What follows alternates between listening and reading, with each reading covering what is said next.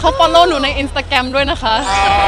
คือเขา follow ต่อหน้าหนู แล้วตอนที่หนูอยู่ตรงนั้นหนูก็พยายามเก็บเก็บ look แล้วก็โอ้โอ้ thank you ตอนนี้เดินออกมาแล้วเก็บอาการตื่นเต้นไว้ไม่อยู่เลยละค่ะนางเอกสาวญาญ่าอุรัสยา ที่ได้ไปกระทบไหล่ซูเปอร์โมเดลโลกจีจีฮาดิดที่ญี่ปุ่น ในฐานะพรีเซนเตอร์เครื่องสำอางยี่ห้อดังค่ะ แหมน้องญ่าน่ะตื่นเต้นเรื่องนั้น แต่บอกแล้วแฟนๆโดยเฉพาะหนุ่มๆ คงตื่นเต้นเรื่องออกอีเวนต์วันเนี้ย ยาย่าไม่เพียงสวยหรูดูแพงเพราะสวมเครื่องเพชร 61 กรัตมูลค่า 88 ล้านบาทเท่านั้น แต่ที่น่าโฟกัสคนไหนๆก็คือเนินอกดุมๆ ที่เซ็กซี่มาก แถมเจ้าตัวการันตีเลยว่า ของแท้แม่ให้มานะคะ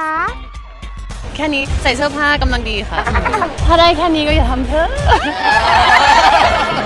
อนาคตมันไม่แน่นอนค่ะ แต่ว่าตอนนี้ไม่ค่ะ